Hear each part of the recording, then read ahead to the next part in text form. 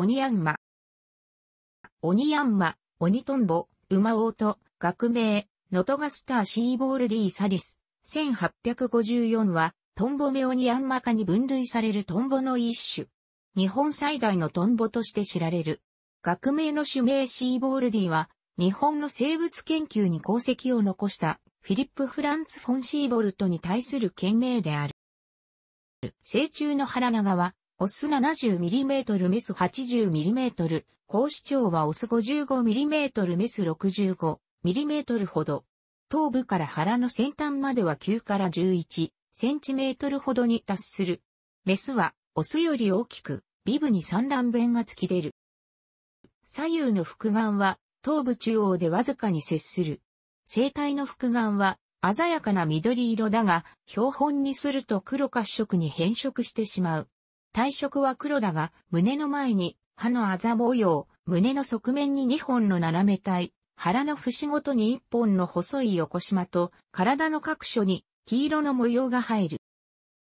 コーニアンマシーボールデュースワルバリーサリス、1886は、名前にオニヤンマとあるが、オニヤンマ科ではなく、サナイトンボ科に分類される。成虫の複眼が頭部の左右に離れて接しないことや、幼虫は体が上から押しつぶされたように平たくて円盤状をしており、渓流の石に捕まって生活することは、サナイトンボ科の特徴である。また、頭部の小ささや後足の長さなど、一目見ても、オニヤンマとは似ていない。オニヤンマは、オニヤンマ科でありヤンマ科に属さないことと合わせて、分類上注意が必要である。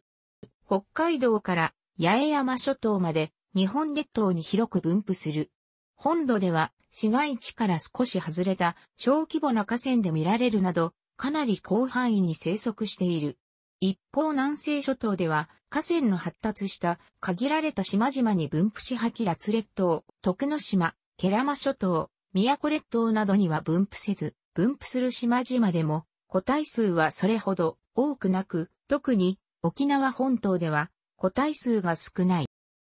地域個体群によって体の大きさや体色に差異がある。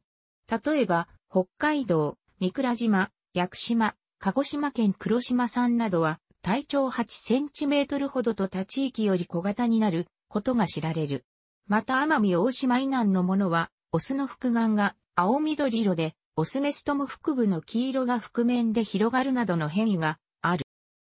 成虫がよく見られるのは、水のきれいな小川の周辺や、森林の外れなど日陰の多い涼しい場所だが、活動域は広く平地の湿地から山間部の渓流まで見られる。これらに隣接する都市部にも出現し、人々を驚かせることもある。ヤンマカのような他の大型トンボ類が好むような広い池や湖などを生息場所としないために、これらの広大な水域の開発や水質汚染等によって減少傾向が強いヤンマカなどのトンボ類に比べ、小川や林の中の流水といった環境が残されている地域ではよく見られるトンボである。一方南西諸島では長期のように生息域が産地の源流部とかなり極限される。成虫は6から9月頃に発生し、未熟時期には山頂付近や丘陵地の林道などでよく目撃され、また都市部では車道や歩道に沿って飛行する姿を見かける。成熟すると流水域に移動して、オスは流れの一定の区域をメスを求めて往復飛翔する。従来、この往復飛翔は縄張り維持とされていたが、最近の研究で、オスは羽ばたくものはすべてメスとみなしてしまい、出会うオスをメスとみなして追いかけ、縄張り維持でないことが分かった。この羽ばたくものをメスとみなす行動は成熟したオスに見られるので、他には回転しているもの、扇風機や円盤や製材所のノコギリなど、やブラウン管テレビの映像にも反応して、その前でホバリングしたり周囲を回ったり、稀にぶつかったりする。また、水の小さな落ち込みに日が差した時にも反応したことが報告されているので、光のフラッシュをメスの羽ばたきと認識してしまうようである。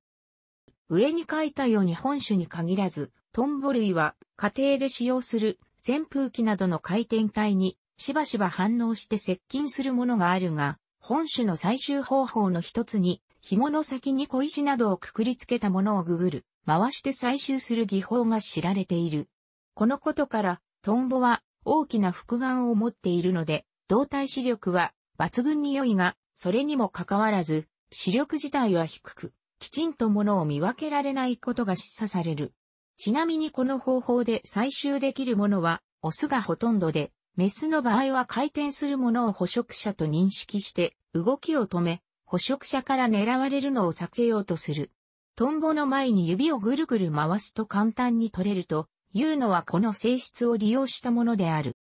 トンボ一般と同じく食性は肉食性で、が、ハエ、アブ、ハチなどを空中で捕食する。木の枝に止まりニーニーゼミを捕食していた事例もある。オオスズメバチ、塩や油に対しては捕食した、捕食された両方の記録が存在する。大顎の力も強く、噛まれると出血することもあるので捕獲した際などは、注意が必要である。主な天敵としては、鳥類やコウモリなどが挙げられる。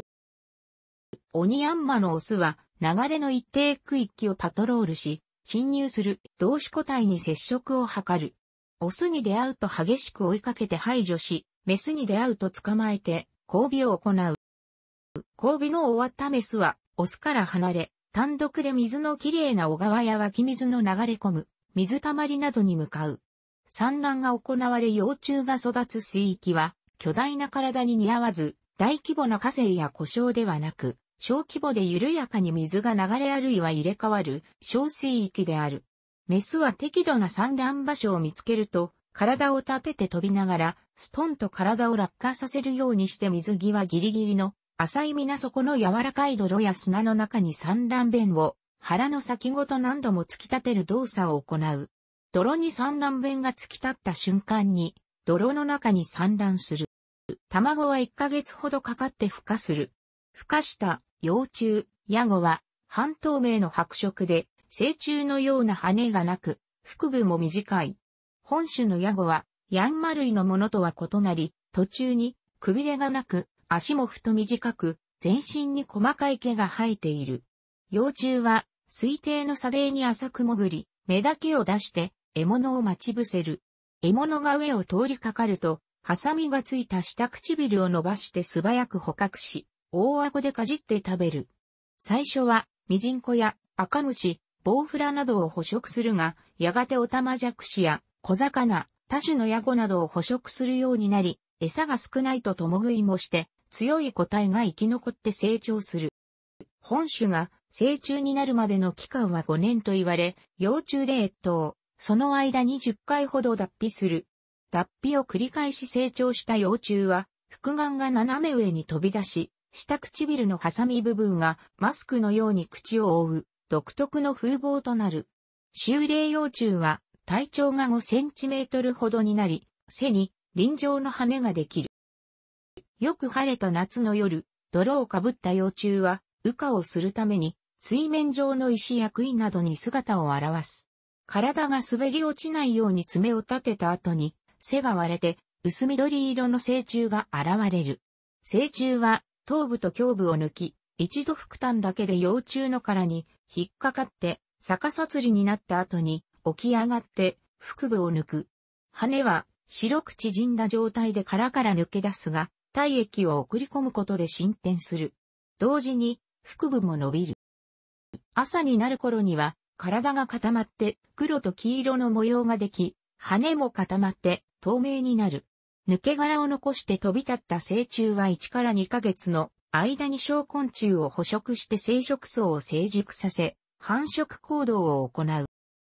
オニヤンマの羽化過程の写真、南ヤンマ科クローリガムフィーデイは、オニヤンマ科に分類されているが、オニヤンマとの形態の差や DNA 分析の結果、などから別な南ヤンマ科に分けられる場合もある。オニヤンマとの違いは、複眼が一体で接しているオニヤンマと違い、前述のコーニヤンマほどではないが、完全に離れていることが挙げられる。楽しくご覧になりましたら、購読と良いです。クリックしてください。